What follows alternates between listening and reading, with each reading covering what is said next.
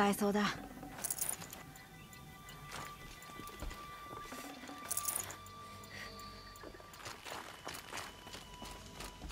何をしているアロイ？この道は狭間へと続く。くだらん信仰以外にバヌークから得られるものなどないぞ。エクリプスを放置してのんびり雪遊びしている場合かすべきことをしろ。未だに覗き見てたんだな。まだ飽きてないのか？世界の運命を気にかけることが悪いことだとはな。ああそういえば。ロストがよくバヌークとシャーマンの話をしてくれたんだ。青いケーブルを皮膚に通すことも教えてくれた。まるで誰かさんみたいだな。私をバヌークから遠ざける本当の理由は過去に触れられたくないからか。私が興味あるのは過去などではなく未来だアロイそしてこの世界の運命だよ。分かったら無駄話はやめてすべきことをしろとは言っても聞かないだろうがな、うん、たく。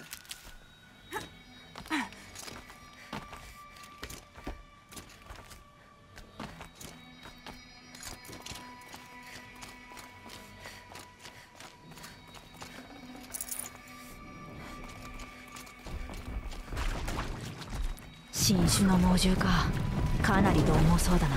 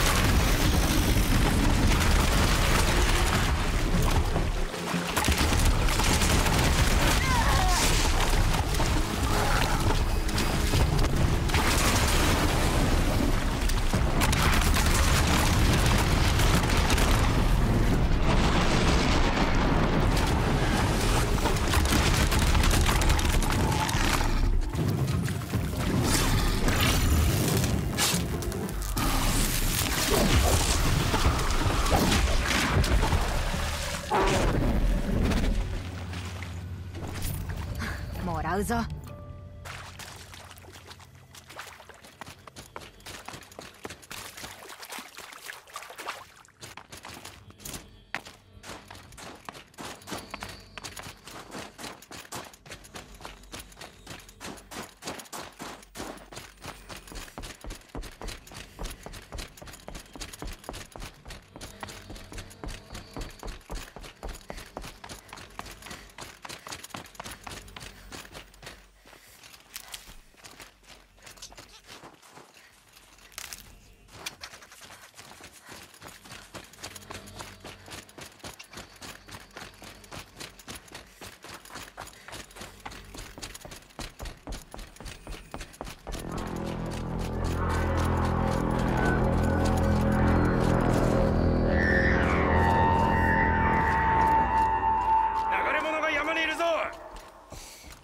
歓迎されてるみたいだ。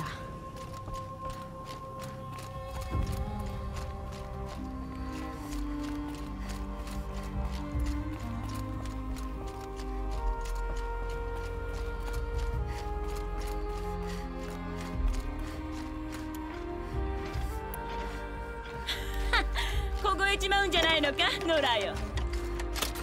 山を登って汗をかいたよ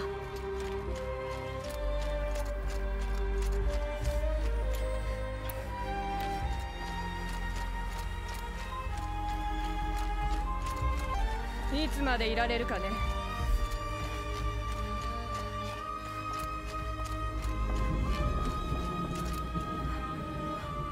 山から煙が立ち上ってる。村からもだ。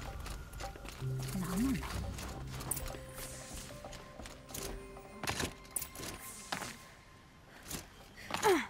シャーマンが我らを見捨てそして族長は腕のいい戦士を死に追いやった。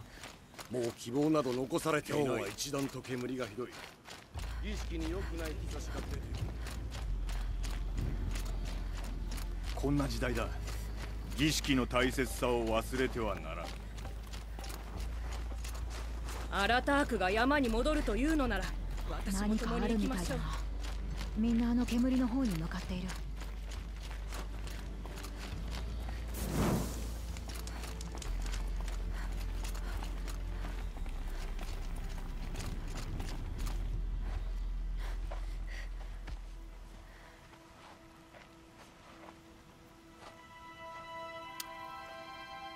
わった儀式が始まるぞ。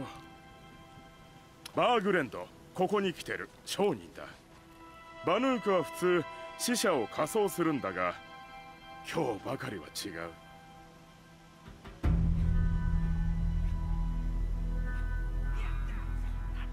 仮装をする遺体がないようだな。ああたくひでえ話さ。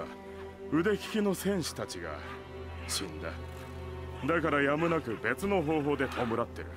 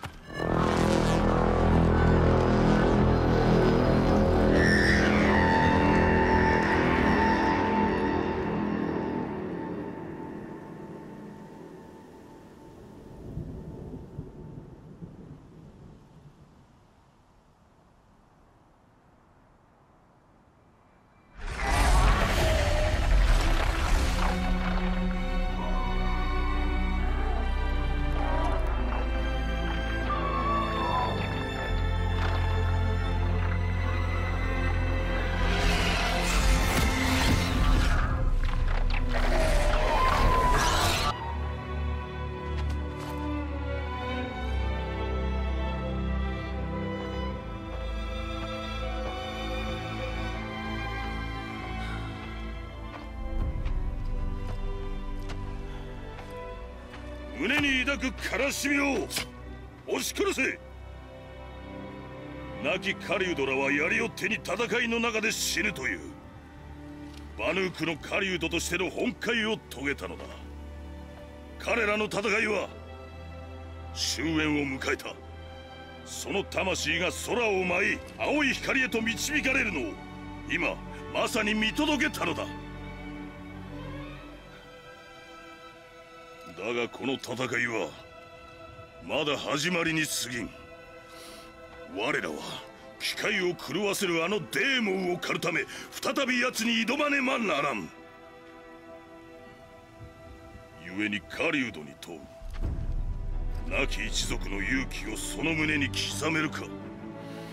狩人として戦いの中で死ぬことができるか。我が勇気と我が槍を牙と共に払った。我らはバヌーク。我らは敵を。ただ狩るのみ。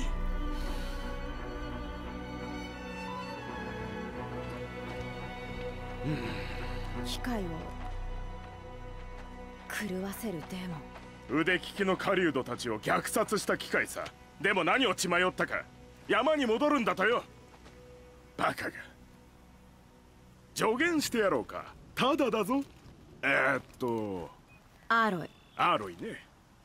ここで二度も冬を越した俺ですらバヌークって奴らは理解できねえな。この騒ぎを見ろ。確か事の発端は一族のシャーマンオーリアだ。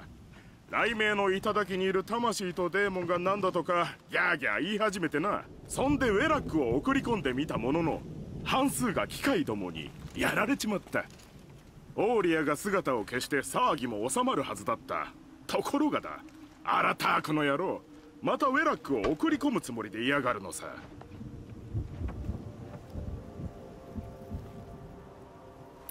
サイレンスって男のことを聞いたことは長身でバカ真面目で皮膚にはケーブルシャーマンみたいに。ああその名前なら一度か二度聞いたことがある。けどひそひそ話してたぞ。まるで忘れ去りたい幽霊のことみたいにな何があったかはさっぱりだが多分王の衆に喧嘩でも売っちまったか。それか売られたんじゃないか？王の衆？たまにバンアーで開かれる身分の高いシャーマンの集まりだよ。最新のまじないやら何やらを共有するんだ。あのおかしな髪飾りをお互い引っ掛け合わずに全員テントに収まるんだから驚きだね。オーリアも参加してたみたいだぞ。けどどんな感じか聞いてみたら嫌な顔されちまってさもっと知りたきゃオーリアを見つけるしかない。そんでもって気に入られないとな。頑張れよ。バヌークのどこが理解できないんだ？ああ。ほら何でもかんでも試練試練苦難を耐えろとか生き延びるための試練だとかよ。こんな場所だとそうなるのは自然だろう。ああ。お手頃価格で援助してやるって言ったんだよ。こんな獣だらけの雪山だ普通はありがたく受け入れるってもんじゃねえか？一応説得しようとしたんだがな。ま援助を受けるくらいなら死んだ方がマシってことらしい。それでデーモンについて語ったのがオーリア？そうさ。雷鳴の頂にいるってアラタークたちに吹き込みやがった。奴らは信じた。じゃあお前は？いいか。オーリアがあそこで何を見つけたかは知らん。流れ者とは口を聞かないからな実際狭間の機械どもは凶暴になってやがるんだ。デーモンの仕業かもしれない。じゃなきゃきっと変なもん食って腹でも壊したってとこだろう。まあオーリアがいなくなった今誰にも理由は分かりゃしない。アラタークは名の知れた戦士なのか？奴は族長だよ。誰もが奴の言うことに従う。あまり喋んないけどな。カイの方がまだ喋るってもんさで奴とオーリアが一族と現れた途端この小さな町にわんさか人が集まってきやがった。そこで気づいたのさはるかクレイムまで続く俺様だけの交易ルートにな。なのにアラタークが連中を行かれる機会の餌食にしちまった。ああ最高の客だったってのに。バーグレンドウェラックとは何なんだ？部族内に部族があるのか？ああクレイムの一族とは違う。奴らには血筋なんか関係ねえ。試練を受けるのさ。特技を証明できりゃ仲間に入れてもらえる。人の入れ替わりもあるがずっと残ってるやつもいるみたいだ。このバンアー全体が言ってみりゃ最古にして最大のウェラックってとこさ。まあこれだけは覚えとけ。必ずどのウェラックでも族長とシャーマンが物事を決める。ただ厄介なことに族長は頭が固い奴らばかりだしシャーマンは浮世離れしてやがるのさ。ここで二度冬を越したって？ああ。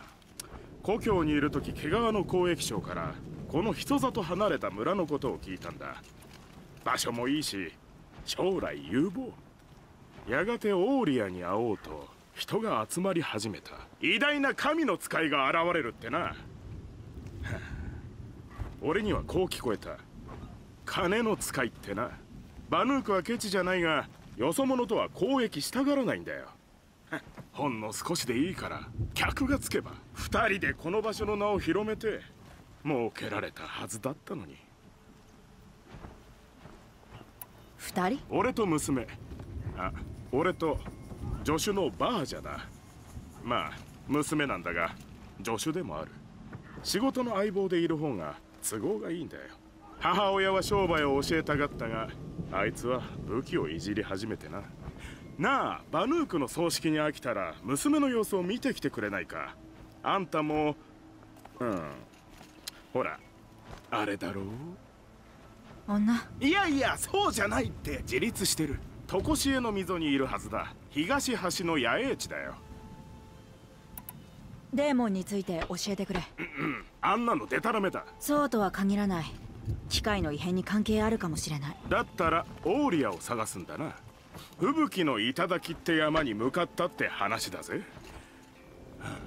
凍てつく頂を越えられるのはシャーマンだけって話だがな。はあ弟子のナルトゥークってやつが向かった場所なら知ってるぞ噂話を信じて川の北に行きやがった。噂？嫌な噂さ。異様な姿の機械が突然襲ってくるとか。これまでに見たこともないような新種の機械だっていうやつもいる。がぜん興味が湧いた。情報ありがとう。気にすんな。新たくから王機械領と雷鳴の頂のことを聞くだが怯えてはならない。聞くのはただだし。俺たちはバヌーク。真の狩人だこの話はもう二度と口にするな。疑念は雪より重くのしかかる。お許しを族長。次の戦いに備えます。今度の戦いでは失敗は許されん。分かっているな。もちろんです。よし。流れ者私に話があるとか。さえずりの果てには他のウェラックも？そうだそれぞれの村に住まいや取引を求めるバヌークが戦が終わりを迎え野営地だった場所に村が生まれた。霜に咲く花々のようにな。村は生き続ける。カージャがまた戦を起こさぬ限りな。オーリアにデーモンのことを聞きたい。どこにいるんだ？シャーマンのなすことはよそ者には関係のないことだ。特に流れ者にはなあデーモンとは何なんだ？寒さに耐えられるならば自分の目で確かめるがいい。あれは機械たちを変えた。以前より強く獰猛にな。何なんだ？それはシャーマンが決めること。お前の一族はずっとここに？いや多くの狩人がバンアー中から集まってきた。デーモンを倒すためになだが私はここで生まれ多くが山に逃げていく中残ってカージャと戦ってきた。その時生き残った戦士たちは今も共に戦っている。雷鳴の頂に戻るつもりか？そう約束したからな。どんな危険が待ち構えていても？危険とは何だ？死か。お前は試練を前にしてたじろぎ逃げ出す人生など惨めだと思わないのか？じゃあこのくらいにしておくよ。よし言葉よりも行動だな。だな。人殺しどもに守られてなきゃ。この手で煙塚のオールブルードを殺してやるのだが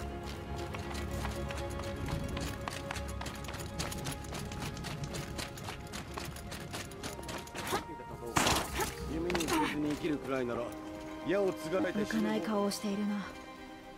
洪水が起きたのか？そうだ突然の大洪水。雨も雪解け水もなかったのにだ。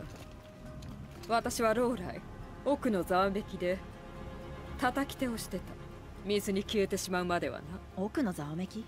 なんだ？空洞だ。古の者が掘った場所。そこは部屋になっていて私が使う楽器も全て揃っている。私の人生そのものだ。演奏して説明してやりたい。だけど今やパイプは深い水の底だからなそれなら奥のざわめきは地名でもあり楽器でもあるってことか。そうだ。パイプの完璧な音が空洞の中に響き渡るのだ。古の者はこの建物を利用して遠くまで音を届けた。戦の間バヌークを鼓舞しようと父はパイプで演奏をし続けた。私も叩き手だが今は戦いも少なくなった。私が演奏するのは喜びと家族を思い出すためだ。だから水が引かなければ喜びも思い出も消えてなくなる。すごい勢いで水が来たのか。前触れはなかった。そばの川が急に増水して空洞が水浸しになったんだ。原因はわからない。雲はなかった。雨も降ってなかった。それでも川は増水を続けたんだ。水はまだ引いてない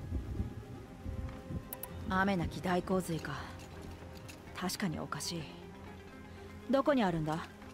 近くに寄ったら見てみよう。北西に行ったところだ。見るのは構わない。だが何の意味がある？水が引くことはないんだぞ。川にお願いでもするつもりか？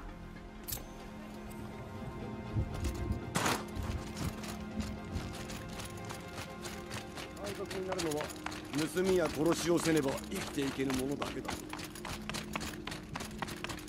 よし。このデーモンと機械の関連性を解明するにはオーリアを見つけないと。そのためにもまず川の北に向かった彼女の弟子を探そう待ってくれ。流れ者よ。お前が持っているその槍青い光が輝いているではないか。これか。私の知り合いが作ったものだ。ああシャーマンか。ああお前は鍛冶師なのか？鍛冶師には鉄の中に潜む火花は分からぬ。このような鉄の歌などもってのほかだ。おそらく古の者の助けさえあればこれを改造できるだろう。ここから遥か北に洞窟がある。雪に埋もれた縦穴だ。中は鉄の鳥たちの巣になっている。シャーマンが過去に手をつけていない鉄の鳥を探すのだ。そこでその槍と同じ長さのレールを見つけろ。これ以上言うことはない。洞窟にいる鉄の鳥からレールを取る。おかしな話だな。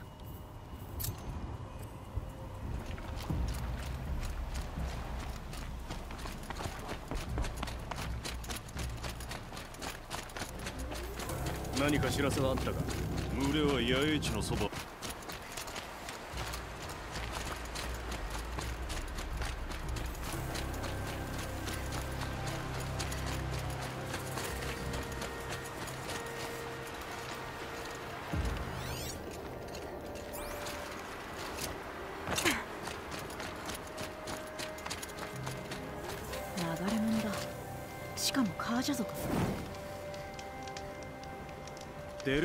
宮殿を襲ってまだ生きているのか？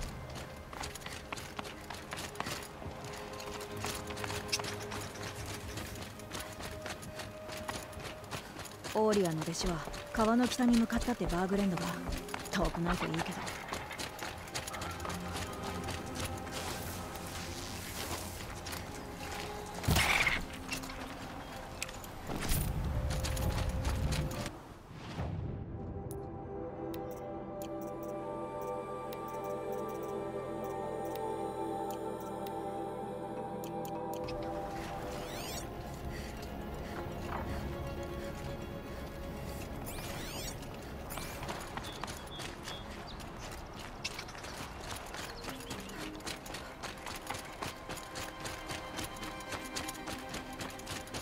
れがナルトゥークだな。何を見てるんだ。塔か塔がパリスか信号ナルトゥーク。君は？どうしてここへ？バーグレンドから居場所を聞いた。しつこいやつだ。何度もあのオセラムに買いたいものなんてないとはっきり伝えたんだけど。売りに来たんじゃない。オーリアを探してるんだ。会えないよ。彼女はシャーマンしか行けない場所にいる。青い光の声の導きを求めてね。それが彼女の務めそして僕の務めはデーモンの動きを監視して病が広がるのを防ぐこと。でもあんな塔どうしたらいいんだ？ほんの数週間で狭間中に現れたんだよ。あそこから発せられるエネルギーが機械を集めて修復もするんだ。アラタークはデーモンが機械を狂わせているって。ほら見て紫に光ってるやつだ。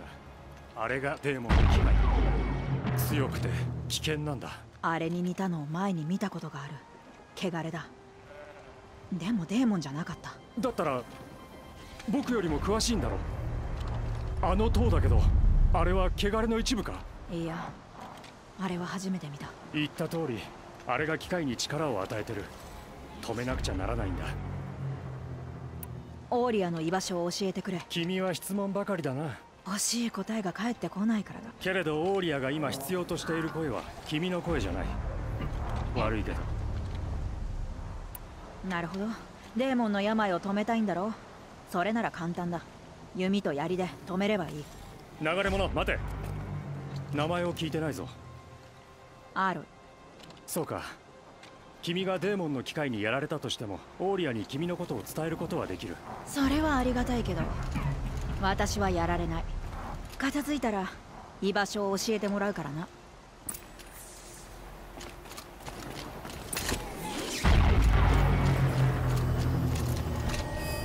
機械なら倒せるけど塔はどうすればいい？破壊するかそれかオーバーライド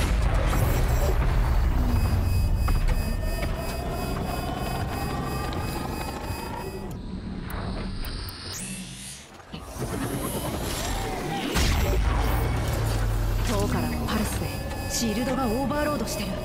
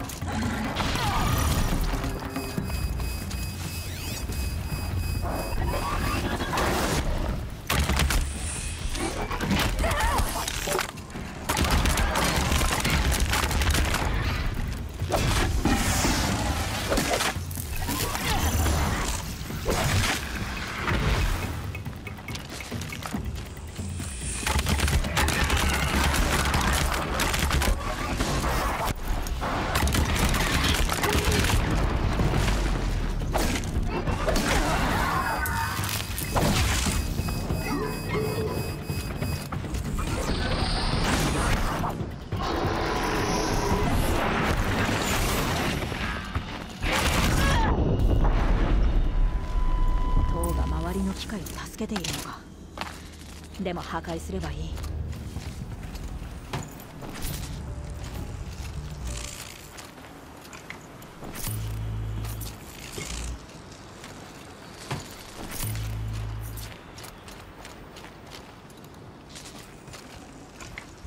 空きがない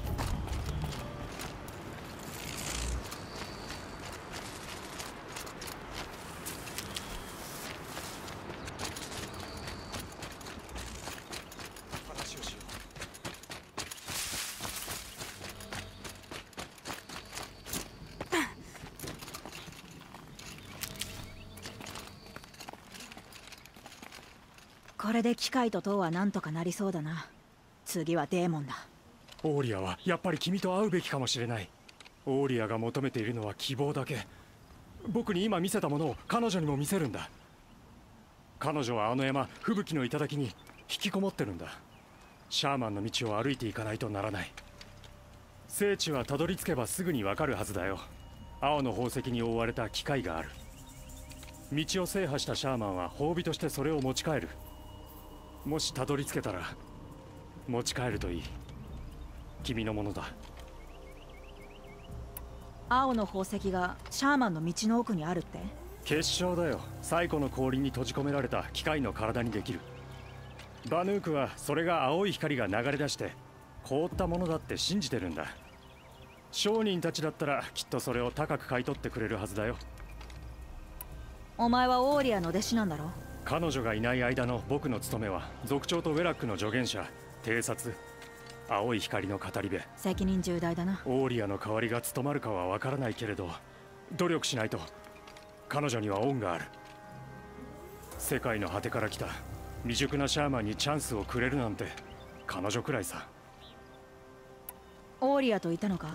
山が襲われた時。あんな状況でも一緒にいられたなら。でも僕は戦士じゃないから待つよう言われたんだ。オーリアと族長はひどく罵り合いながら戻ってきたよ。何についてかは分からないけど。その後彼女は僕に務めを与えていなくなったんだ。シャーマンの道はどうやって渡るんだ？吹雪の頂に行ってそれからしるべをたどって氷道を抜けて滝へ行きそこから聖地に登るんだ。気をつけてあの道は若いシャーマンの最後の試練に使われてる道だから。聖地にオーリアがいるんだな。いいやそのさらに上だよ。山の中のどこかさ。彼女に会ったら伝えてくれ。また声が聞こえることを信じてるって。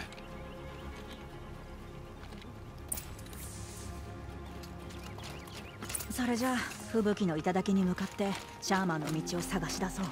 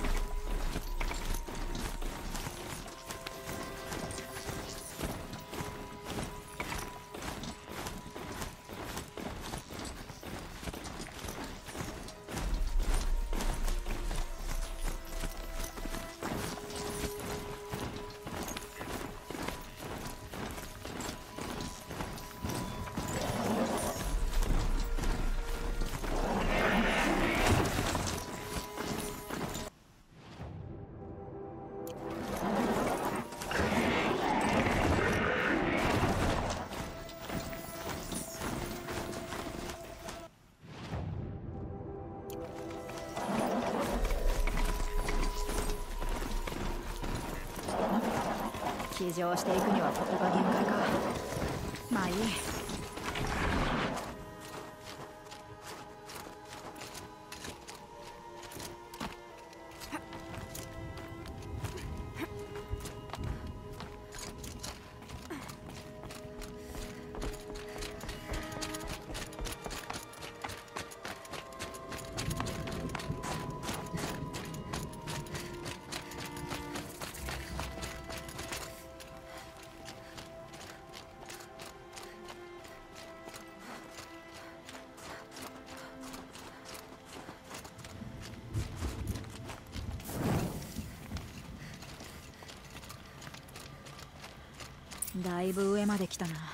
シャーマンの道が近くにあるはず。これがナルトゥークの言ってたしるべの一つか。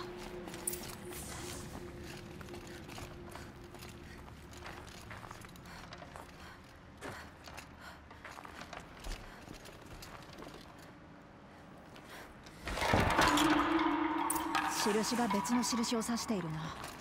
方向を示してる。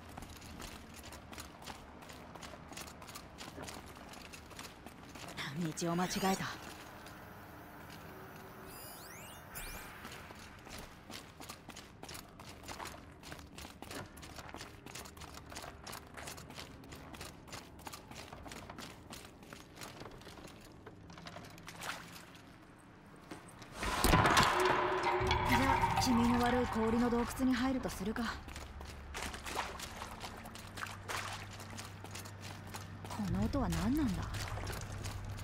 導いているのか。他にもあるならフォーカスで見つかるかも。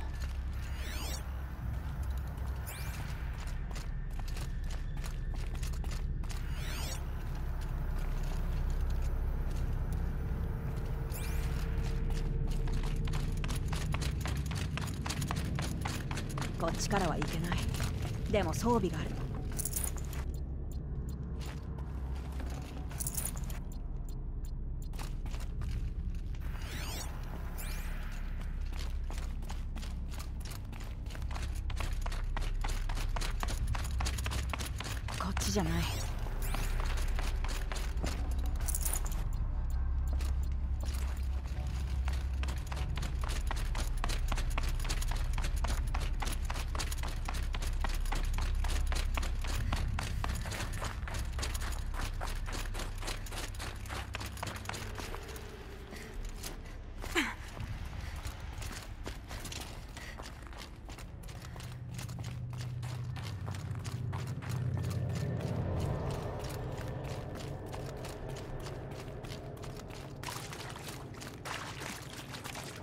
別のしるべいいぞ。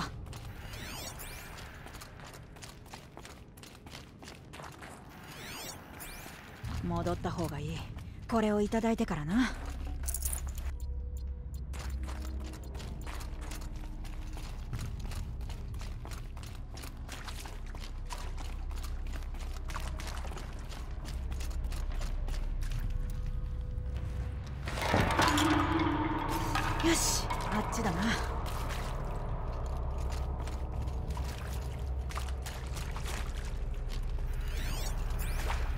違うな。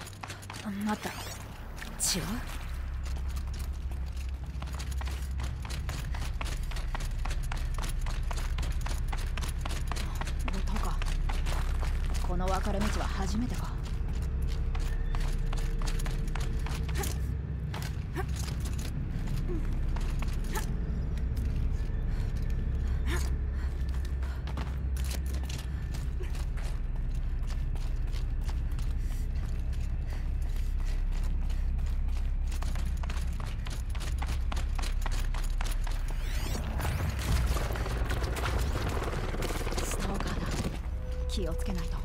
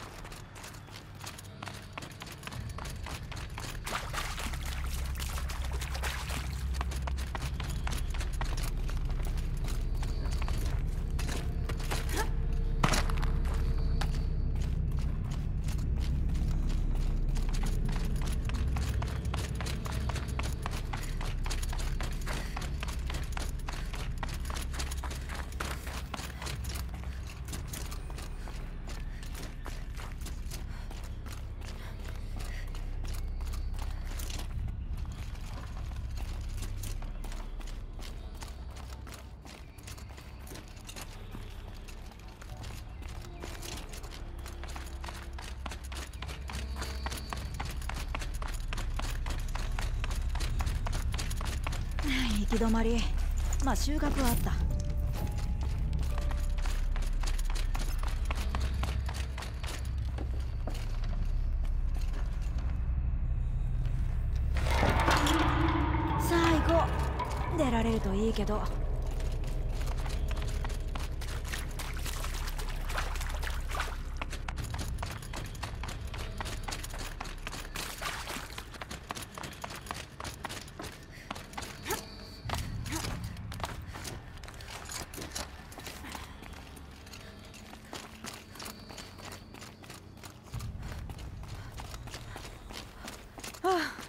は抜けた。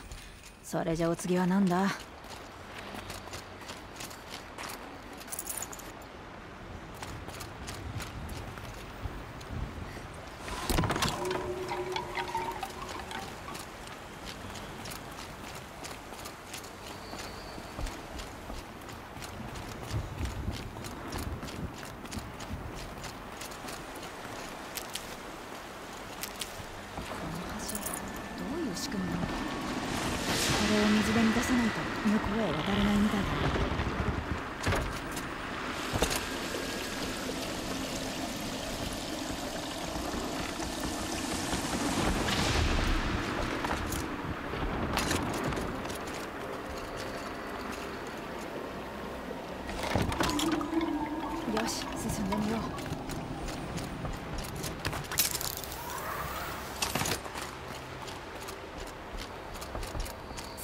こはどう渡るんだ？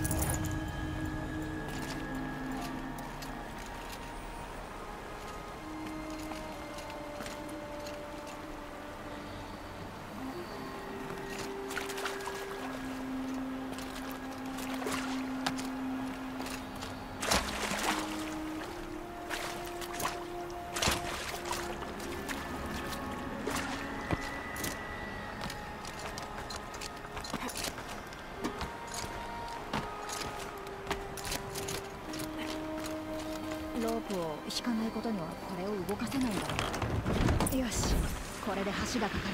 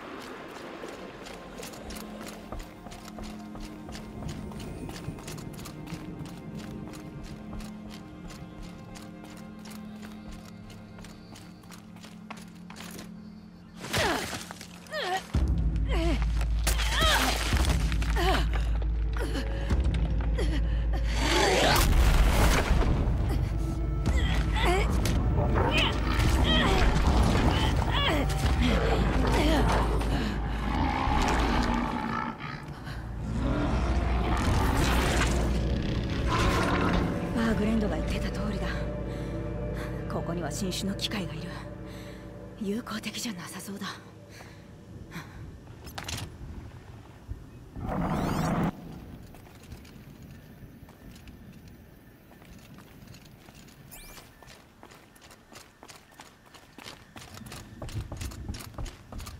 冬の厳しさが凝縮されてるみたい。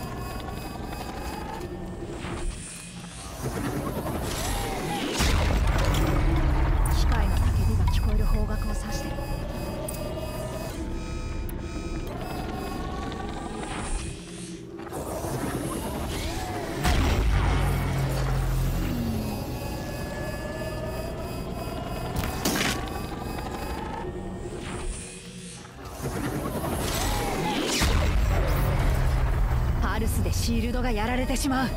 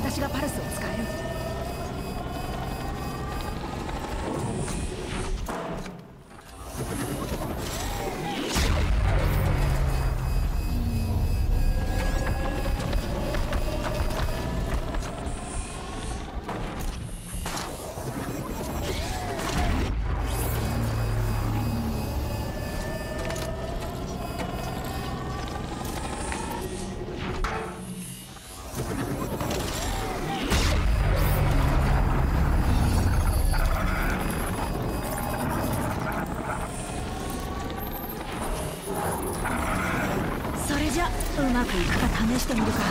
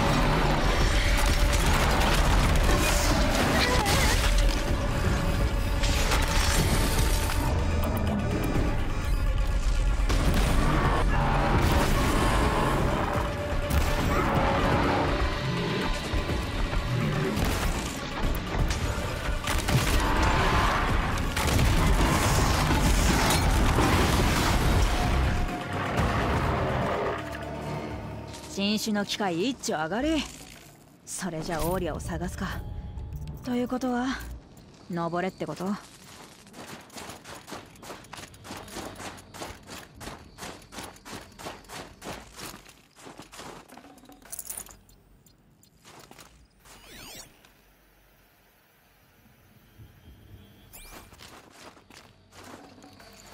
身軽でいないと。ここなら登れそうだな。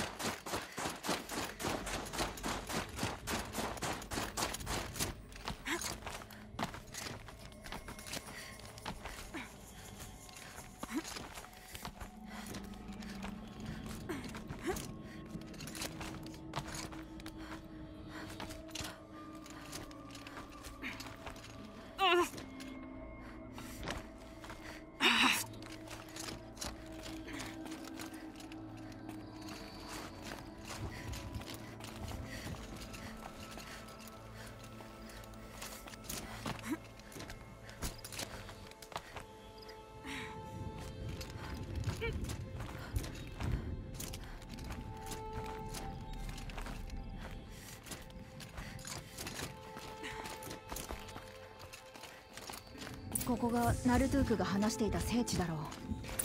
青の宝石をもらってくか。キラッキラ。高く売れるわけだ。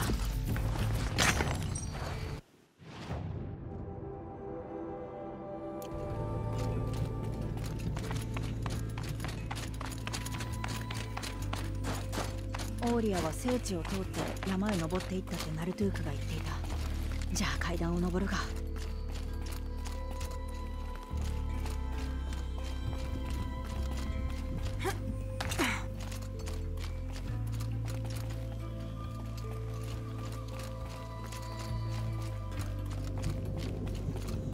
古の扉だ。中にオーリアがいるかも。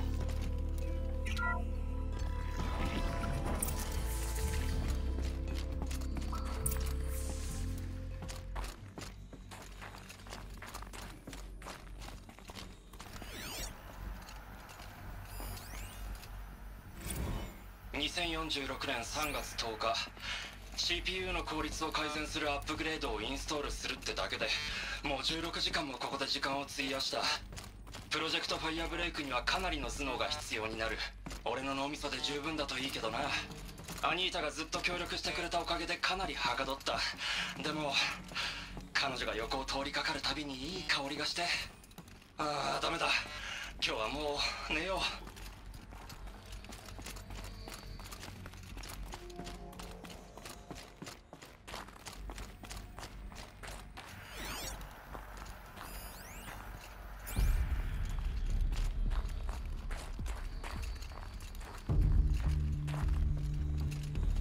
閉まってる。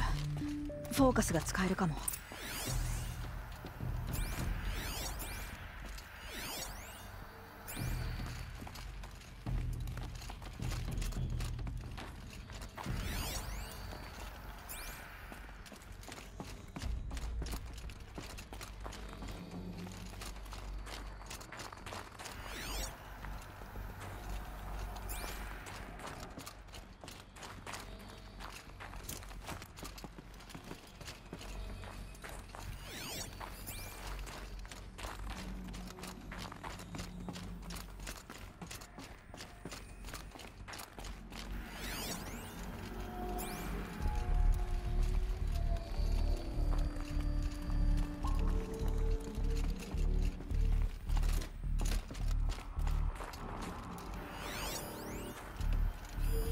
扉はここの何かとつながっているみたいだ。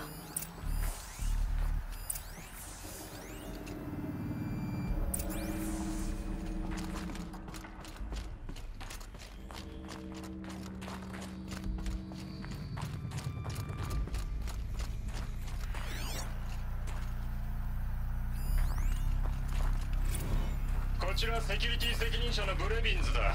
もう一度緊急補給命令を再送しておくからな。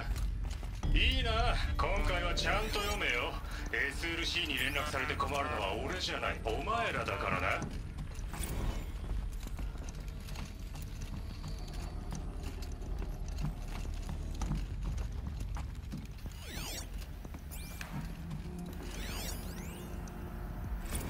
あのセキュリティ責任者のブレビンズってやつまるでお山の大正気取りね。いつ切れられるかわからなくておちおちくしゃみもできないわ。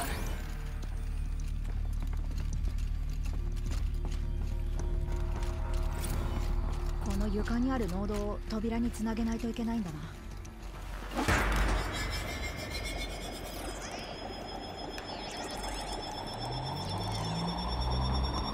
多分何か起こったかも。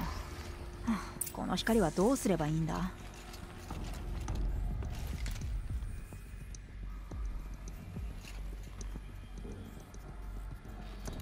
これを回すと光の流れが変わる。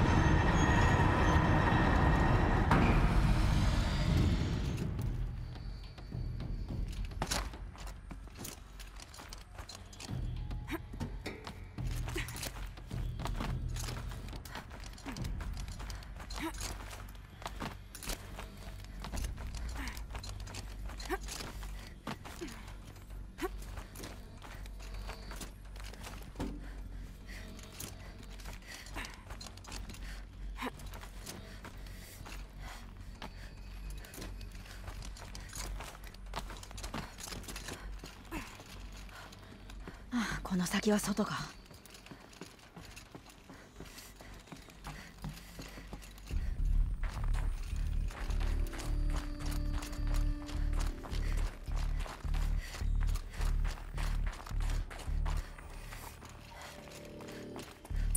また外だ。向こうにある建物を通ればまた中に入れるかも。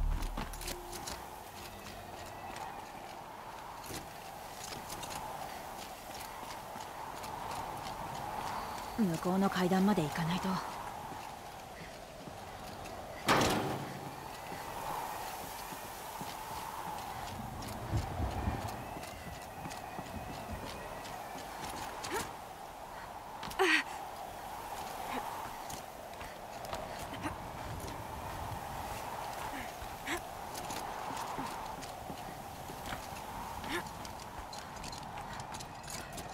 目を閉じたら凍りついて開かなくなりそう。あ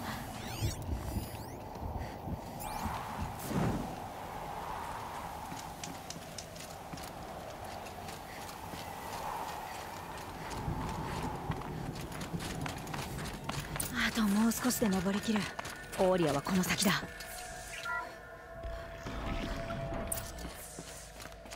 彼女はここにいるはずだ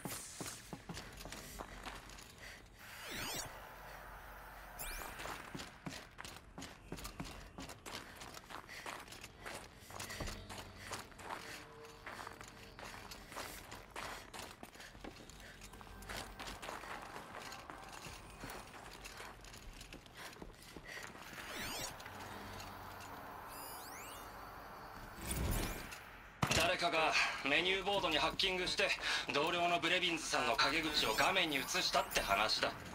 史上最も高度な地質学プロジェクトだったのにこれじゃ中学校のロッカールームみたいだな。みんなどうしたんだ？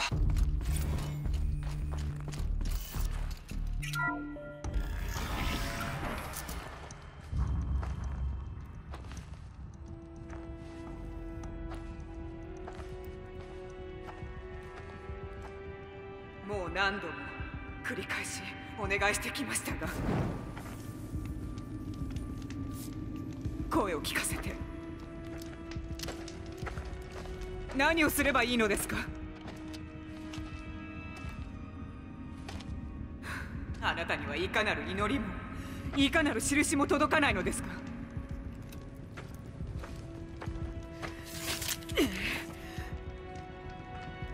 このままではお力になれません。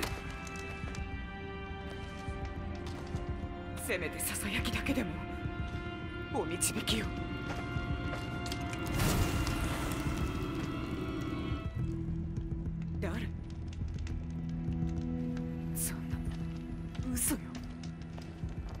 ってここに魂によって封印されていたはず。それは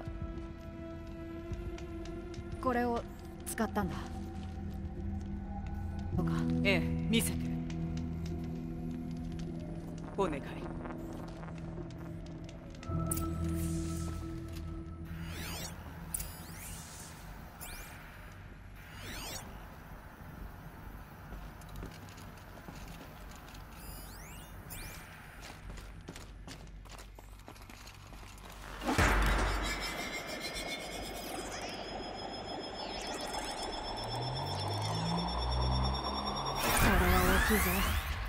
ることは同じはず。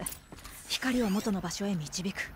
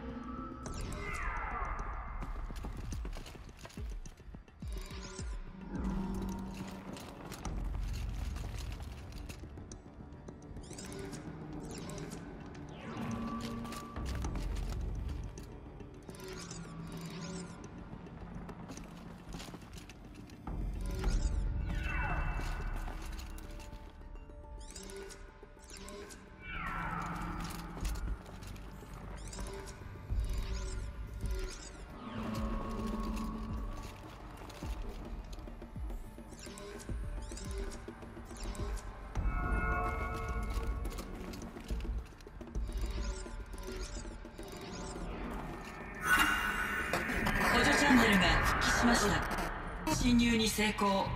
制限を回避。誰かいますか？オーリア？オーリア答えてください。予定のタスクに復帰。いいえ私は従いませんオーリアデーモンが来ません。オーリアお願い信号終了魂の声が蘇ったわ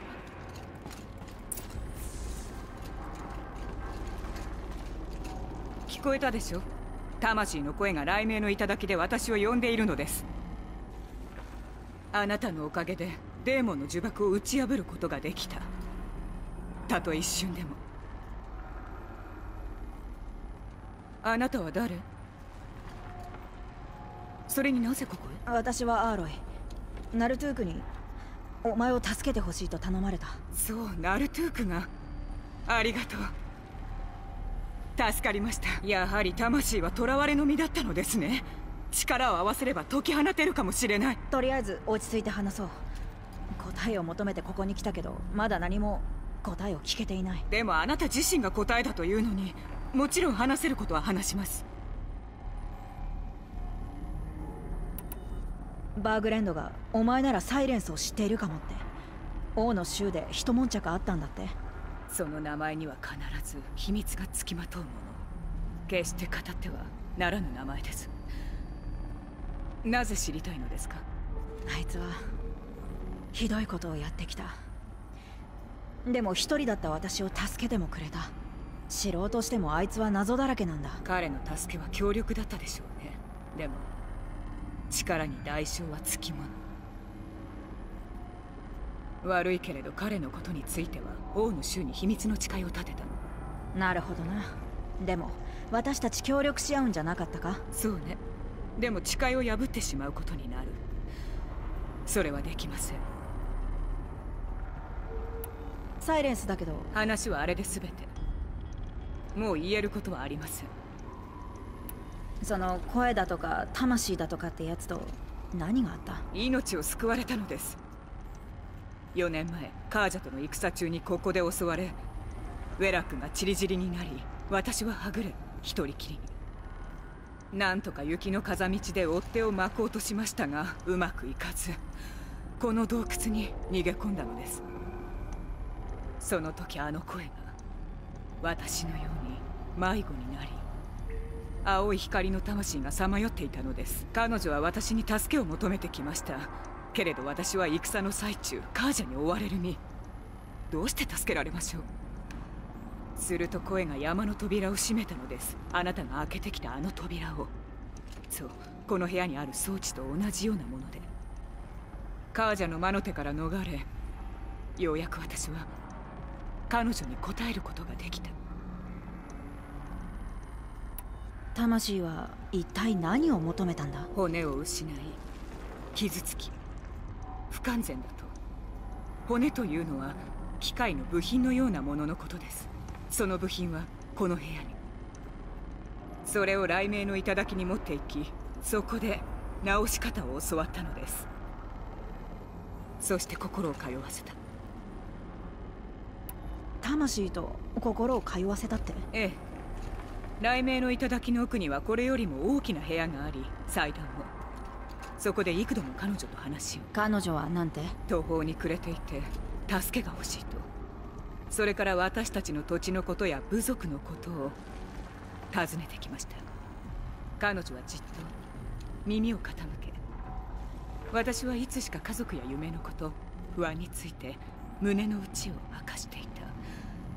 彼女は辛抱強く聞いてくれました。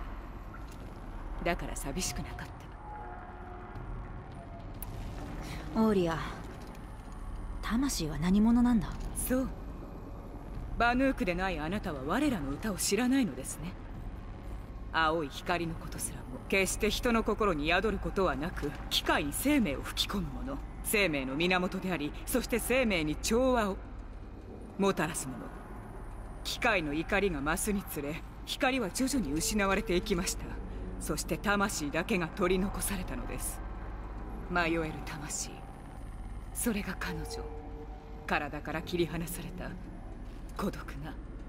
存在です。助けてあげないと。お願い手伝って。理解できてるか不安だけど。努力する。それで十分。デーモンは一体何なんだ？ここと雷鳴の頂の奥で幾度となく魂と話しました。彼女は最後に話した時人の目には決して見えぬ邪悪なものの攻撃を受けていると言っていた。デーモンと呼ばれそれは彼女の力を欲していたのです。デーモンに抗うために必要なら彼女を壊す方法を見つけてくれと頼まれました。それが5年前。それからというもの声が聞こえない。助けを求められてからお前はどうしたんだ？魂を守るようアラタークに頼みに行きました。ですがカージャとの戦が続く中会うことも叶わずに私は京王のハヤブサに捕らえられてしまいメリディアに連れ去られたのです。頂に戻れたのは解放から随分と経った去年の雪解けの頃でした。雷鳴の頂に戻ったってそれはこの前の遠征か。組織を見た。ええ。ようやくカージャとも和平を結びアラタークと私はデーモンを倒すための狩人を集めたのです。ですが頂への古い扉はなくなり代わりに現れた開かずの門と機械が行く手を塞いだ。手も足も出ず。撤退する頃には多くの精鋭たちを失いその亡骸も置いていかねばならなかったのです。その後アラタークと意見が食い違うようになりここに来たのです。もう一度魂の声を聞きたい一心でそこにあなたが現れた。まずは話を整理しよう。声は2つ聞こえた。一つは魂とやら。お前がデーモンって呼ぶ声に囚われているんだな。このデーモンの正体が何であれ機械と関係していて凶暴化させたのもこいつだ。原因を知りたい。魂もデーモンも雷鳴の頂にいる。それだったらそこに行って謎を解いた方がいいんじゃないか？無理です。雷鳴の頂は今やデーモンの手に落ち以前に増して危険。それにアラタークが許さないでしょうね。族長の許可なくして山には入れない。彼を説得するのは絶対に無理でしょう。じゃあ族長を変えれば？一体誰が賛成するというのです？うん。あなたは狩人でしたね。それも特別な狩人のはずならば可能性は流れ者だとしてもその名をウェラックに轟かせれば彼も挑戦を拒めないはず。あ待って。私が？アラタークに挑戦？でも族長なんて興味ないしここのバヌークは私を嫌ってるんだぞ。けれど雷鳴の頂には行きたいでしょ。あなたも聞いたはず。デーモンに苦しむあの魂の叫びを自由を望んでいるのです。それにきっと彼女を解き放てばあなたが追い求めている答えも得られることでしょう。たくなんでこんなこと。それでどうすればいい？ウェラックにあなたの力を証明するのです。狩り場に挑戦し狭間に救う山賊を倒す。それかセクーリに会うといいでしょう。手助けすれば名を広められるはずです。抜かりなくアラタークの足元に槍を突き刺す時が来たら私も共に参りますそれまではここにいます知りたいことがあれば何でも答えましょうそうあと一つあそこの箱に入っている。私の武器をあなたに役に立つでしょう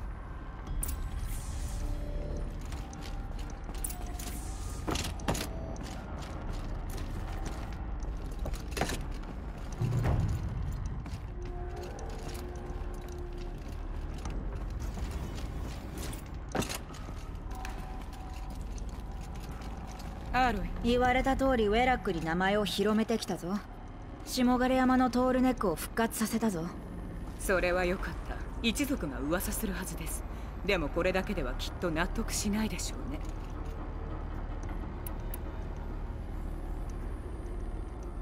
狩り場で勝てば認められるってこと？バヌークたる者皆頂点を目指すべし。ここは真の戦士のみが生き残れる極寒の大地雪の外貨の狩り場は大いなる恵みであり戦士たちはその狩り場で腕を磨くのです。老幕に私の名前を伝えなさい。そこで鍛えた戦士を超えられたならばあなたの名も知れ渡るはず。山賊を片付けてウェラックを助ければいいのか？ええ。山賊は北方の偉大なウェラックたちには手出しをしないのですでも狭間を標的にしている。ならず者のオセラムが煙の谷の族に奇妙な装備を与えたのです。友人のセクーリって言ったか？誰なんだ？岩の画家です。彼女に比べたら私の絵など子供騙し。彼女はさえずりの果てに必要なものを集めてあげるといいでしょう。彼女の絵は永久に残るものです。あなたの行いも永久に残りましょう流れ者からの決闘なんて受け入れてくれるのか？いい顔はしないでしょうね。私に任せて。そろそろ行くよ。